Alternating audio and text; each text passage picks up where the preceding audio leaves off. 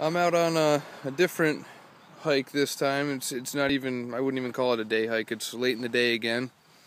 Uh, I'm off of one Route 165 in Exeter, Rhode Island, Arcadia uh, State Park Management Area.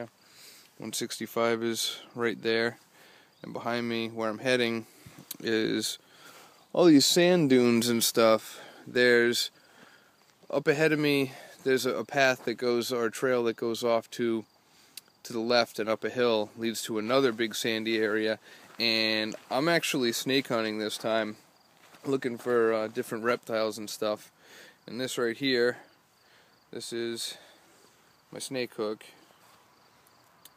So if I can if I get anything I can handle it without getting bitten. Some stuff it doesn't matter. I'll be I'll just be able to pick it up. But I don't know if I'm going to find anything. Again, it's really late in the day, about 7 o'clock.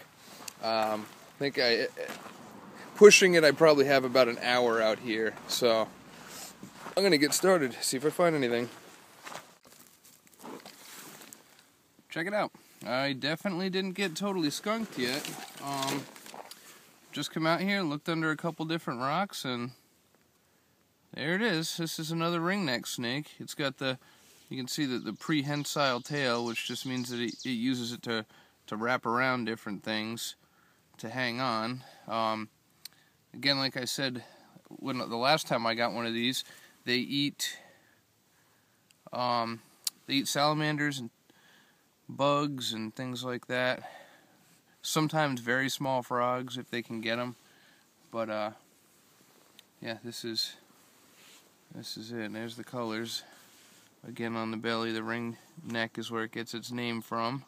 I'm going to let this guy go. I actually just found it right underneath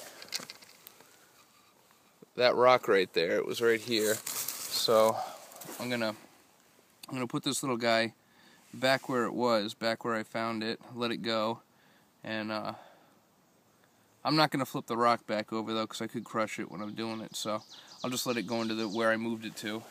And see if there's anything else around here. That's great. This late in the day, I didn't, I didn't think I was going to be getting anything coming up uh, empty the whole time, but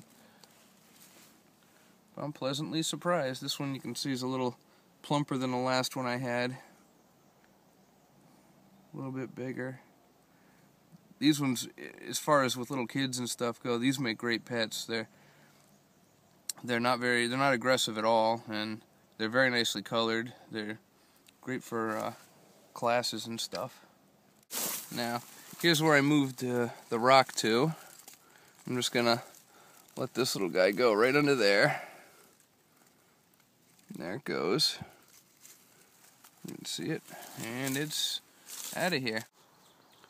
Okay, here's uh, here's the big sandy area I used to come to. I don't know if it was an old uh, gravel quarry or sand quarry or something, but right up on the other side of this little hill with the trees right there. Found a huge black racer at one time. Check that out. I don't know if you can see it. Um, I get close. It's right. Probably not. Unfortunately. That's actually snake sign. Right there too. Is that. There's some skin right there. So there's a pretty good bet that up in here somewhere there's going to be one. So I'm going to keep poking around and if I find it I will show you. Well I had uh, I had no luck up at that the area up the path here where that big quarry looking area is. Um, here's the sand dunes I'm back at.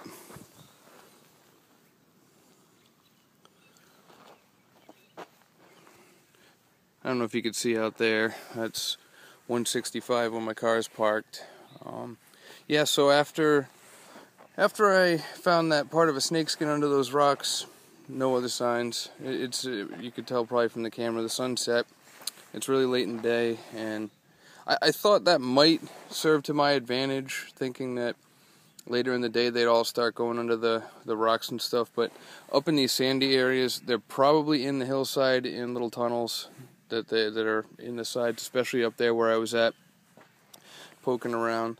I, I found that one snake skin and nothing, um, not even some uh, signs in the sand or anything. But I, I, might flip over one or two more things down here and uh, take it from there, see what I can come up with. But yeah, at least I found one, so it wasn't completely um, a washout. So. Well, that about does it. Um, uh, the sun quit on me, so it's pretty much calling the day for me. Yesterday, I went out to Billings Lake. It's a, a pond in North Stonington, Connecticut, just over the line from Rhode Island, and uh, it was after work. I was poking around down there, and I found another ringneck snake. So I'm going to take that ringneck snake video and tack it at the end of this just to add on to this one. And uh, I ended up bringing that one back home and letting it go in my yard because it's the same type of habitat. So that way it can take care of some of the pests for me out there. This is uh, more of this area that I'm leaving right now. If you can see any of that behind those big uh, trees over here, that's 165. This is actually a pretty large area. It might not it might not look it, but it's it's pretty big. So that's that. Uh, that's the end of this. I might try another place I know uh, east of Hartford uh, off of Route 2 that's another state forest that is supposed to be really productive. I've been there one or two times before, found some stuff, uh, but that'll be another day. Here is uh, here's my first snake for 2012 that I've caught. This one's actually called a ringneck snake for for obvious reasons. It's got that yellow ring going around its neck. Uh, really smooth scales on it. And it's got a bright orange belly with those little black dots on it. These are one of the friendliest snakes uh, from the wild that I've ever handled in New England here. Um, seriously, they I mean garter snakes are way more vicious than these. I've never been bit by one. I've handled these since I was a little kid of probably eight years old, and uh, I mean dozens and dozens of them I found over the years at different places, and uh, I've never had one of them bite me. And you can see here. There's its little head. Yeah, a ring neck. It's got that shiny iridescent uh, color to its head and back. And they actually, there it is. Uh, some sources say that these are mildly venomous rear-fanged snakes. Um, I don't know. I can't confirm or deny that.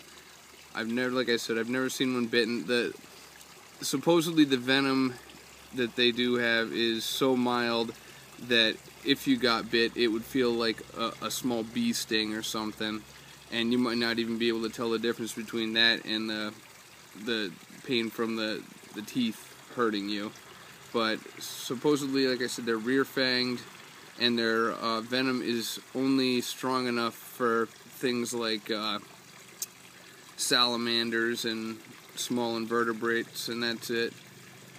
But again, I can't confirm that. I I don't think so.